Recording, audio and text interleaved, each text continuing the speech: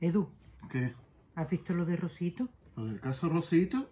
Sí, lo he visto. Además, a la tele se le está pasando a dar una información muy importante sobre el caso, ¿eh? Rosito no lleva tilde, porque es una palabra llana terminada en vocal. En los hiatos de dos vocales iguales se aplica las reglas generales de acentuación, por lo que Rosito no lleva tilde. Por lo demás me suda el nabo, Silvia.